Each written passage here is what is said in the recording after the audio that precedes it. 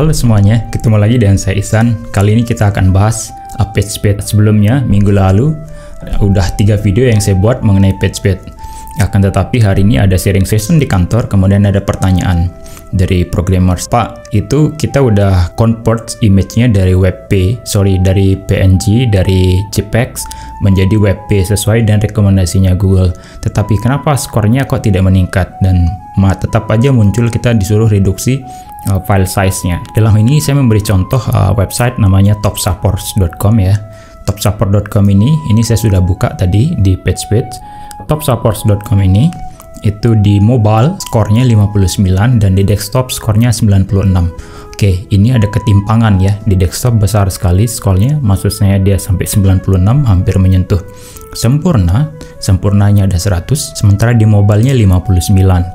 So, kita lihat penyebabnya. Sekarang di sini ada tulisan first contentful pane, kemudian largest contentful pane, kemudian ada total blocking time yang jumlahnya 220 millisecond. So problemnya karena tadi bahasanya pertanyaannya itu adalah image udah diubah saya buka ya.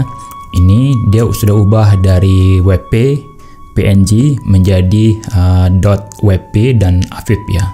Cuman dalam kasus ini itu diubah jadi WP. Oke, okay, sederhana sekali. Ini pertama kita ke desktop ya. Ini di desktop image search static dan bla bla. Ini kita balik ke properly image size atau ke mobile tadi. Di mobile ini ada problem di properly image size karena kita sedang membahas mengenai WebP ini di properly image size ini dia memberikan rekomendasi dikurangi. Uh, potensial shippingnya 66 so kita diminta untuk dikurangi size nya jadi 67 kilobyte. Kilobyte Kemudian di sini ada extension, padahal sudah WebP ini extensionnya. Ini WebP, ini teman-teman bisa lihat medium dan bla bla atau saya bisa klik kanan di sini.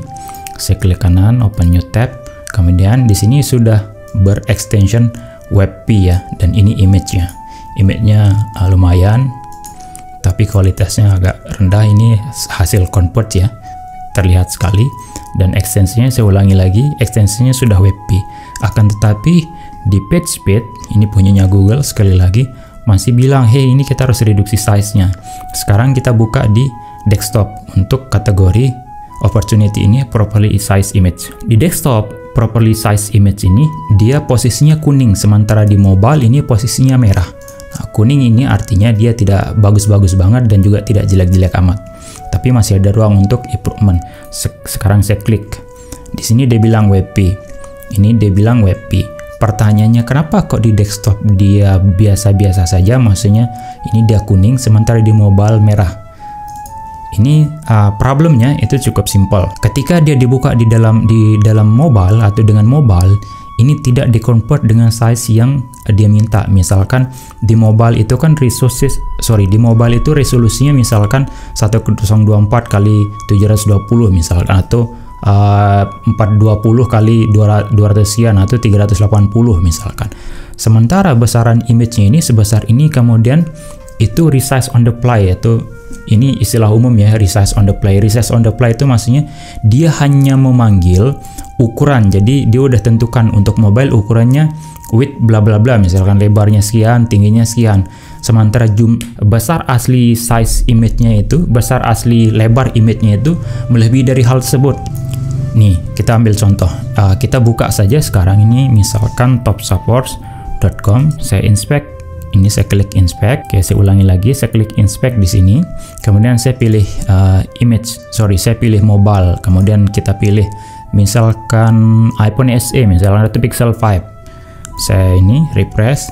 Saya pakai 100%. Nah, teman-teman lihat di sini, ini image di load cukup lama. Yap, ini image delete cukup lama. Sekarang kalau kita klik kanan yang ini, kalau kita inspect elemen dia di image yang ini, nih. Nah, ini dia udah bilang, sorry ini bukan hero. Lihat image-nya itu dia 100%, artinya dia responsif. Kalau responsif itu artinya memang gambarnya itu dikecilin. Dikecilin di dikecilin begini atau dimampatkan seperti ini.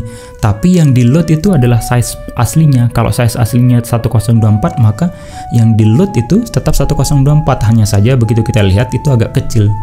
Solusinya kemudian seperti apa? Solusinya itu ada harusnya setiap resolusi yang ingin dilayani, misalkan resolusi, resolusi yang ingin dilayani, misalkan untuk kategori Pixel 5 ini, Android Pixel 5, itu size-nya, atau sorry lebar dan tingginya itu, lebarnya 393 dan tingginya 851.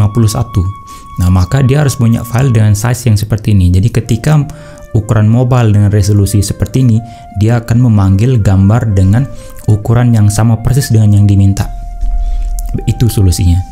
Kemudian ada pertanyaan lanjutan lagi. Kalau begitu kita akan menyimpan menyimpan banyak sekali uh, file dong di file yang sama di dalam servernya. Benar, kita akan menyimpan file yang sama dengan banyak jumlahnya. Misalkan kalau ini image-nya misalkan namanya abc.wp, abc.wp strip 250 kali 250 kemudian web uh, abc.wp slash 393 kali 851 seperti halnya yang seperti ini. Kalau kita memakai CMS WordPress umumnya itu sudah disediakan oleh WordPress karena begitu kita simpan filenya WordPress itu sudah memecah secara otomatis menjadi besaran yang sesuai yang kita inginkan atau yang sesuai standarnya biasanya itu 200 kali 200, 100 kali something gitu.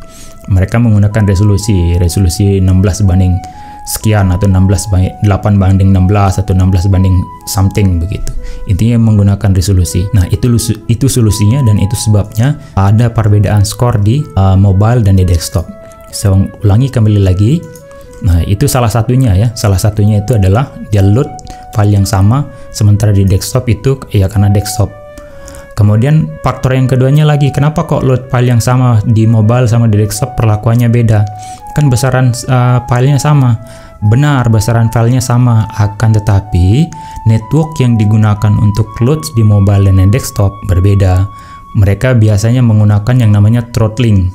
Throttling itu mensimulasikan dengan speed tertentu. Kalau desktop umumnya diasumsikan ini ya, diasumsikan itu dia punya speed yang lebih tinggi daripada mobile karena mobile dia meskipun broadband sudah 4G tapi tetap dia punya limitasi. Apakah hanya saya saja yang punya asumsi? Sebenarnya tidak, ini bukan asumsi. Kemarin di video yang kemarin itu sudah saya jelaskan bahwa cara kerjanya memang mirip. Uh, kalau di desktop gimana, kalau di mobile seperti apa. Ini kalau di, lebih detailnya teman-teman tonton video saya yang kemarin mengenai throttling via uh, sorry no throttling and then with throttling. So kalau dia with throttling kita bisa mensimulasikan dengan koneksi 3G dengan koneksi 4G dan koneksi WiFi WiFi yang dengan uh, limitasi jumlah uh, speed begitu. Itu saja mengenai page speed. Up kenapa berbeda hasil kenapa berbeda skor antara mobile dan desktop. Sampai jumpa di video selanjutnya. Terima kasih. Wassalamualaikum warahmatullahi wabarakatuh